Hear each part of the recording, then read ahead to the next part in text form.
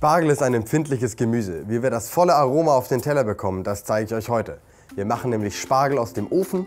Dafür habe ich Alufolie vorbereitet. Und wir fangen an, den Spargel direkt darauf anzurichten.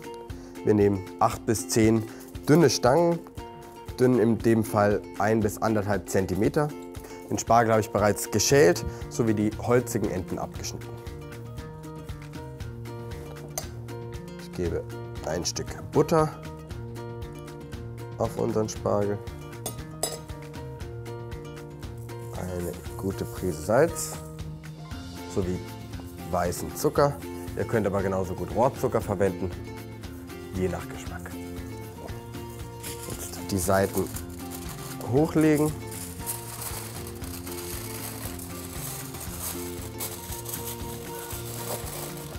Und das kleine Päckchen nicht zu fest verschließen oben nur ein bisschen umklappen und mit der zweiten Schicht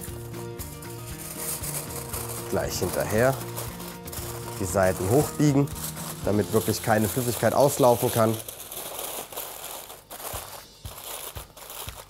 Ich habe den Ofen auf 200 Grad Ober-Unterhitze vorgeheizt und das Päckchen können wir direkt aufs Rost legen für 40 bis 50 Minuten.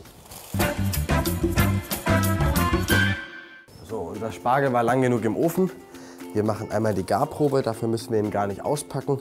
Einfach vorsichtig biegen. Wenn der Spargel sich biegen lässt oder ein bisschen nachgibt, dann ist es auf jeden Fall soweit. Spargel war jetzt 45 Minuten im Ofen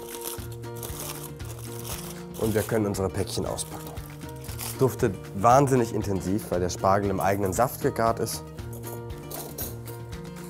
Und dann würde ich sagen, ab auf den Teller damit.